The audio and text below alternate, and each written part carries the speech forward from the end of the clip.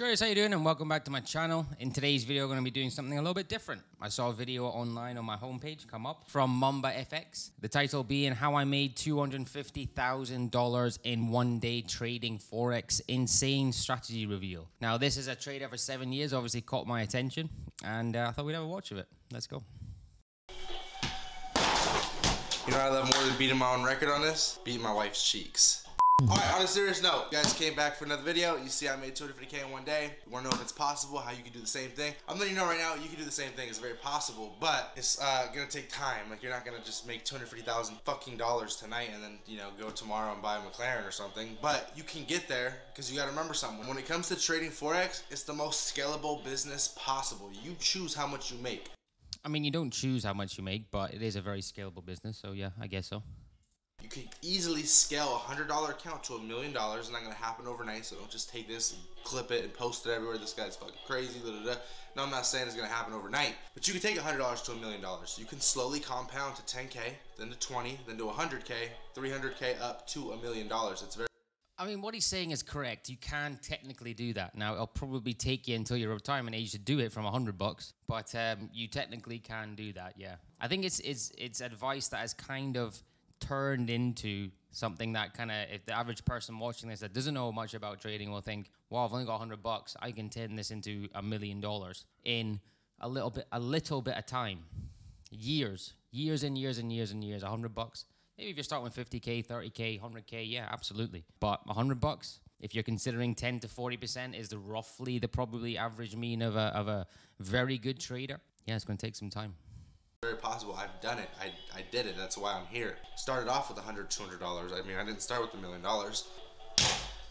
Um, so, like I said, you can do it. It's very possible. All you really need is some guidance. You need some help, right? So, I got something special for you guys. A lot of you guys already know this, but I have a new app. It's called the. It's not even new anymore, but it's called the Clarity Forex app. It's on the App Store. It's on the Play Store, and it's 100% free. You get free content, free courses, free strategies, free breakdowns. All these. Okay, that's pretty good. Free stuff. Fair enough. Um, I, I, respect that. I know he's got an additional for signals, but you know, you do you. Fair enough. Uh, fair play. I'm to skip forward here until the actual strategy um, because I want to see this actual trade first because I presume he's going to talk about his app.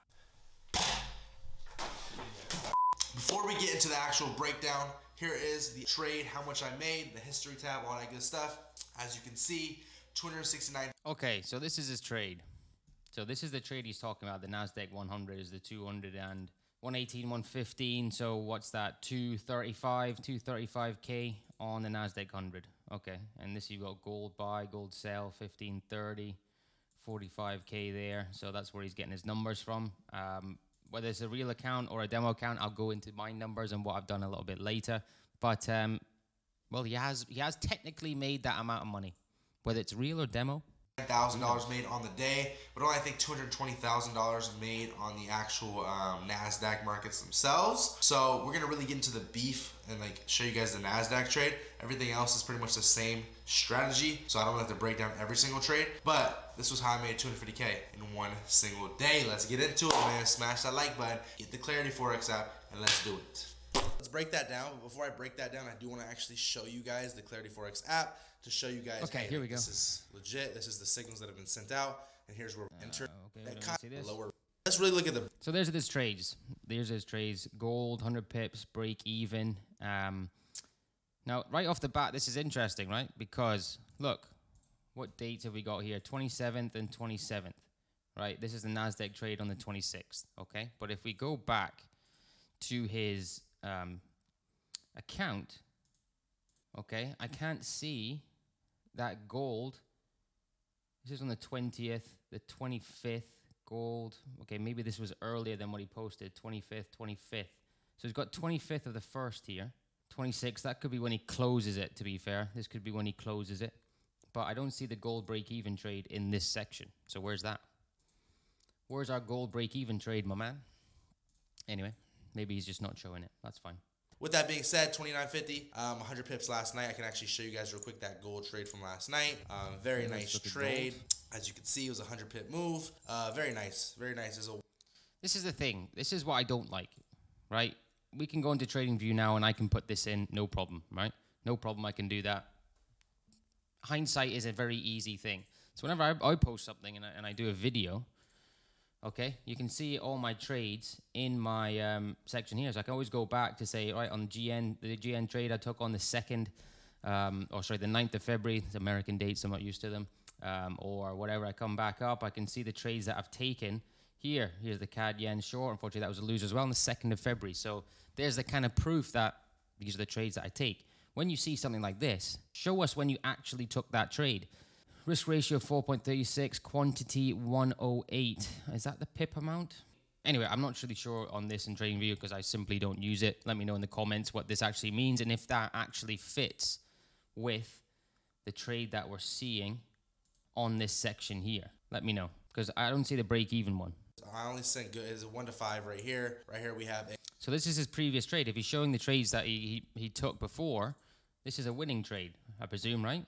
So where's your break even one? Where's your break even one, my man? Anyway, like I said, it could be true, could not be true. This is just my thoughts on, watching the video. a uh, what does it say? One, two, four. Because remember, I have to have these thoughts because he's saying he made two hundred fifty thousand dollars in one day. You got to be able to back that shit up. Is only good ratios, okay? One to four, and that's pretty much it. That's all you're gonna see is those really good ratios. Anyways, lots of break, a lot, a lot of breakouts. I mean, I, I really do this. I really do this. But let's go ahead and break down the tr- trade. Let's break down why I took this trade, what I saw, and all that good stuff. Okay? Um, it's very simple. It's a very simple setup um, that I, take every single time, and I will take it continuously every single time. If you look at our five minute chart, right, and it's always better to start on a higher time frame. So we'll actually do that real quick just to show you what I saw. That's true. Higher time frame confidence, I'm massive on that. So fair play. Yep. But we're looking at the daily. Where are we on the daily? We have a nice rejection, right? A big, big rejection candle on the daily. In what zone? Well, I like to call this a little bit of a clutter zone. This is a zone where price is actually having, you know, resistance. Actually, you know, this is supply. We have supply here, okay? Right here, more supply. So this is actually more of a supply zone, which had now kind of turned into a little bit of a demand zone slash support, resistance, different ways to look at it. I talk about it more on the actual Clarity Forex app. But um, look at this. Look at the perfect zone. It rejected this area. Okay, so yeah, I, I mean, I agree with that. That's a very stereotypical hammer bar, right? It is a rejection candle. But what we're seeing within that candle, right, is some movement to the downside. Now, I guess where he's taking it, if he's saying he's taking it on this candle, buying it from here, okay, I understand that. But if he's buying it the day after, then there was no rejection there just yet. So I don't actually know which day it's on. So if it's here, you're kind of lost to be a little bit worried that sometimes with these hammer bars, yeah, okay, you get some retracement in between them, maybe around that 40, 60 box fib level or 38.2, 61.8, and then you move up. But with this, you're not really getting it. So if he's taking the trade there, personally, I'd be a little bit worried. Certainly if you get a break below the wick, I know we didn't have that here, but I'd be a bit worried about the strength of this impulse to the downside after this candle. So if we go down to our H4 and we look for more confluence, well, guess what, guys? Look what we have. We have support. This is a support zone. We created support here.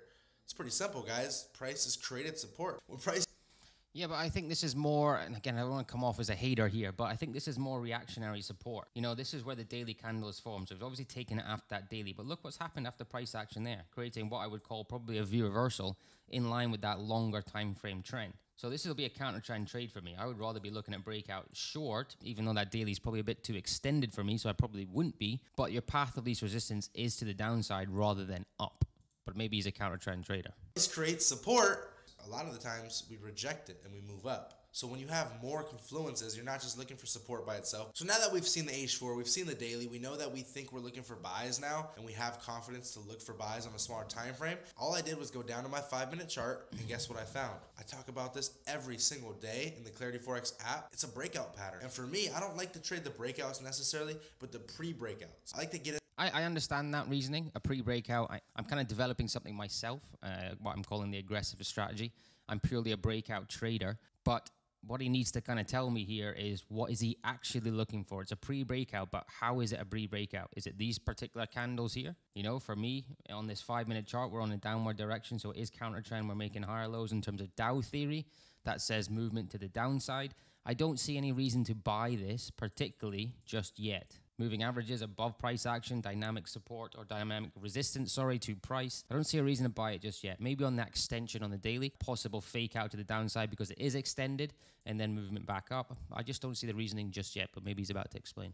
in there before it breaks out when I know it's going to break out so I can get as much Nobody knows it's going to break out. Anybody tells you they know what's going to happen in the future is a is not speaking the truth, right? Nobody knows what's going to happen. Us as traders, I've been doing this a long time. We use our data. We're at the casino. We're not the uh, gambler.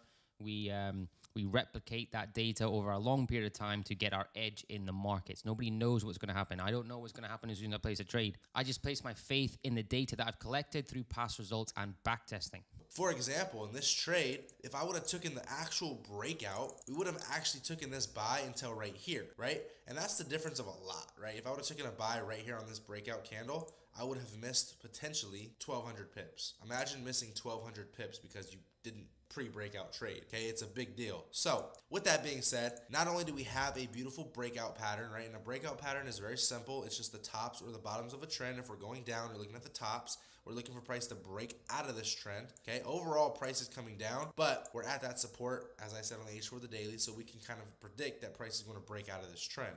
Okay, so by that reasoning, if he's just looking for breaks of structure to the upside, or maybe he's looking for a break of this downward trend line, because I'm looking at this area, say, why aren't you taking it here? You know, maybe why aren't you taking it here? Why aren't you taking it here? But anyway, maybe he's going to explain. It's pretty simple. Now, if you're looking at it the other way and you want to find sell opportunities, like I said, you draw from the bottom on a uptrend and then boom, you have that breakout. This is a more accurate trade because overall price is trending down and then you just have a pause, you have it coming up now and then breaking out to the downside, okay? Yeah, that makes sense. Trend trading. Um, essentially, yeah, I kind of agree with that. It's pretty simple pre-breakout trade right here. We see that we are also at a support, right? We have support on the five minute chart so we can have our stop loss nice and tight right under this zone. only risked about 30 or 40K. So this is basically like a one to five trade or like, no, let me see, one to one to 3.6 trade, excuse me. Um, so, you know. Okay, this is where we do some maths. So what did he say there? Six trade, excuse me. 30 or 40K. So this is 30 or 40K 3.64. Okay, so let's let's do the math on this. So he's saying he's risking 30 or 40k. Okay, remember he said he's made 220,000 dollars. Okay, 220k. The trade was a one to 3.64. Let's just call it for for ease of example here. Let's call it a one to four, even though it wasn't. Let's call it a one to four. Now, as traders, we probably risk between one to three percent okay, 1 to 3% on our particular trades, which means, and, I, and I've seen by, I'm assuming by his app that he's, he seems to be trading quite a bit, you know, two trades, three trades a day potentially. Again, I don't know that's confirmation. Again, I don't know if that's confirmed, but it seems to be the case. Which, in which case, if he's trading every day, I, I would expect his risk to be around one percent. We don't want to have it two, three if you're trading every day, because that can be a recipe for disaster on these drawdowns. So, our 1%, our risk unit is 40,000, which means he has got a $4 million trading account. Now, I'm not going to comment on whether he has or not. Again, he could be risking more, he could be risking less, but let's say it's a rough, maybe like a two to $4 million trading account, maybe even a bit more if he's doing half percent. Um, maybe. Let me know in the comments what you guys think This is basically like a one to five trade, or like no, let me see, one to one to three point six trade. Excuse me. Um, so you know, I risked a certain amount that I was okay with, I was comfortable with. Okay, but what is that risk percentage? This is what we need to know. You're saying two hundred fifty thousand. You need to tell us what your risk percentage is to make a really large amount. Okay, and that's kind of the way you want to play the game. With that being said, we have support, we have pre breakout, but don't forget. H4 and daily is also telling us we're going up. All these but they're not. H4 and daily is telling you we're going down. I don't I still don't understand what this pre-breakout is. What is he actually looking for? So if I'm looking for a breakout, I'm looking for my cup with handle, V reversal, head and shoulders, whatever, accumulation, breakout of the zone, give me higher time frame confluence, not too extended, etc. I have certain rules that I look for when I'm placing a, a breakout trade. I still don't understand what he's actually looking for. What is getting him into this trade? What is his reason to enter? Different things telling us we're going up is what you want to see, and that's how you can make your strategy perfect. Is to have confluence. Okay, you want to have confluence. You want to have different things telling you. Yeah, that I agree with. You just certainly have to have a confluence. Yeah. You the same thing. I just I just don't think there's confluence there. I don't see where your confluence is for counter trend trading. Again, personally, as a trend trader, primarily a, continuation trader, I don't see where the confluence is. It's counter trend. Different time frames telling you the same thing. Okay. With that being said, we're on that support, right? We have support. We showed the H4 and the dailies going bullish. We have the H4 and the dailies not going bullish. You cannot say that it's going bullish if it's on a downtrending environment. It's it's literally a downtrending environment. If it took from that four hour candle, that initial reaction we got off the level, that big candle, then going bullish, potentially of a break of an anchor, yeah, I, I would make sense of that, but I just don't see how it's bullish. Pre breakout pattern. We have a lot of things telling us, hey, we're going to buy. So I took my, my buy and I waited it out. Okay, right here, it took another entry on an actual breakout because you, now you know, hey, we're really breaking out. Okay, and um, you would have made even more money. But with that being said, stop loss, previous high. Previous high on this actual trend line that I've drawn. Previous high is right there. Correct me if I'm wrong, but the previous high is here. Actually, the previous high could technically be here. Broken through. No, this is this is your previous high because you've broken through the lows here. So technically, you could take that as your swing point, or here or here. I wouldn't consider this the previous high. But okay, from where he's initially drawn his trend line, fine. That's fine. If that's the way he sees the market, okay. Guess what would have happened if you would have um, actually tried to keep holding this to this high? Like, do you want to see what would have happened? My take. It's because it's counter trend. Profits are better than anybody. Like, nobody has better take profit zones than me um, to the T. Almost every single time it comes to the T, hit take profit, and then goes back the other way. I don't like that. Don't like that. Nobody has better take profits. Come on, man. Because I know what I'm doing, and I know that this is actually supply. And when price comes to the supply zone, we may actually see price fill orders and continue back down. Okay, you have to remember that because a lot of people they will try to hold for too long and they'll get stopped out, break even, and then you're really upset. Your psychology's off, and you're messing. That's I 100% agree with that. I 100% agree with that. Up, all right. Now, with that being said, these are the trades that I'm taking every single day on the Clarity Forex app. This is life. This is what I do. If okay, so he's just said he's taking them every single day. So I would say his assume his risk percentage is one, possibly even half a percent. So we could probably assume his account is a couple of million dollars. If you guys want to get in, which it is, well done. If he's consistent, well done. I just needed to see a little bit more from this video on actually what are you looking for over the kind of long run, you know. So on here, get the free content, get the free courses, get the strategy breakdowns, all that free stuff. Download the Clarity Forex app. It's down in the description. If you want the signals, it's an option. It's on there. Get the signals if that's what you want. But you don't got to get the signals. You, you know, I mean, it's that's completely up to you. Will it help you grow fast? Yes, but you don't have to do it. I give you guys free options because I'm here to help you guys. I'm here to really benefit the community and help you guys out 100% for free. With that being said, I love you guys. I appreciate you guys coming back for another video. I know it's been a long time since I've created a video, but I'm trying to come back. Um, I'm posting on Clarity Forex every day. If you really want to see me, you want to see my content, it's on there almost every day. Weekly outlook videos, breakdowns, all that good stuff. It's all on there. So go get the Clarity Forex app today. Sorry I keep plugging it, but I really want you guys to know where I'm at because I get comments. Okay, I guess that's the kind of end of the video. So my kind of take on it is if he's right, I'm, I'm not a hater or anything. Like fair play to the guy. If he if he trades consistently that way and his strategy works, I'm never going to be somebody who says this doesn't work or this can't work. Everything can work. I just didn't agree with the way that I was saying it. Maybe he said it in the, in in a, in a different way that that he meant. Um, I didn't agree with you're getting confluence there with with bullish pressure. I don't really understand what his actual strategy is and how he got himself into that particular trade. If he was just buying off support. Um, possibly off liquidity, if he was buying through, you know, that that confluence with a daily hammer, potentially. I still don't really understand um, what his trade was, you know. So, but 250 grand when when you're claiming you're making that amount of money, and he might as well be, and he might well be. I'm not saying he's not. I'm not saying he is. You you put in your comments your your personal opinion. I um I just need to see a little bit more to fully kind of say, all right, fair enough.